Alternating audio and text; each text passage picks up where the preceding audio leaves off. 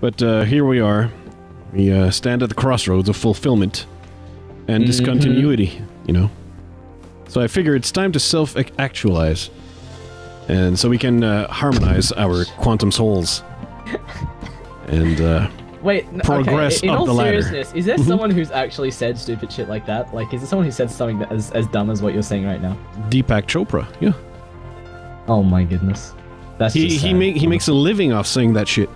The Oh the um God. the uh the the part is that it's it's it sounds deep, but it's actually completely vacuous. And because it's completely vacuous, people can like insert their own meaning in there, you know. So it Yeah. sounds it sounds relevant when a, like if if you choose to decide to interpret it whichever way you want.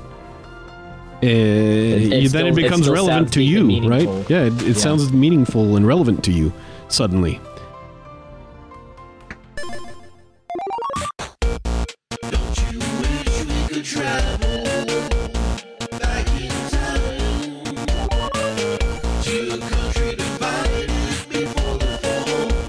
you cross